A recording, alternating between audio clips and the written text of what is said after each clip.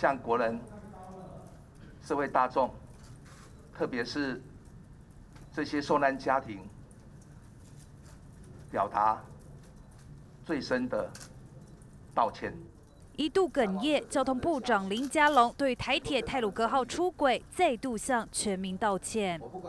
除了政治上的责任，也帮帮助包括帮助所有的呃受难者跟他的家属，能够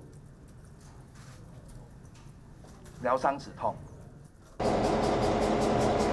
泰鲁格事发后，林佳龙不但第一时间赶到现场，每天都指挥调度、紧盯进度。六号更亲自到泰鲁格号驾驶袁春修灵堂，单膝跪地慰问家属，接着又赶回现场。七号凌晨紧盯最后一节车厢拖出后，再赶到立法院全力善后。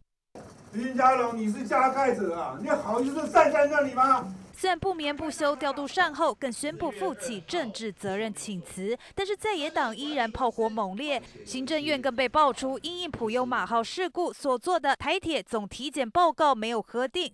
林佳龙曾建议组成台铁改革推动小组等意见，也遭一读不回。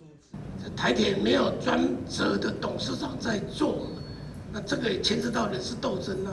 林佳龙要的人，苏村长不要啊，行政院不。不核定嘛？他送了八个月不核定，最后说你自己决定。我们认为应该成立的是调阅小组，因为我们希望把整个事件理清的更清楚。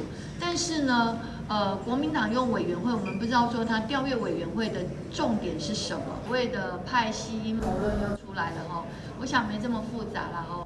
重大伤亡意外，朝野达成共识，成立调阅小组，要赶紧来厘清台铁泰鲁格号出轨事件。毕竟这么大的伤亡，除了林佳龙负起政治责任外，还必须将所有环节查个一清二楚，才对得起所有的受害者跟家属。环宇新闻林静婷、杨植玉台北报道。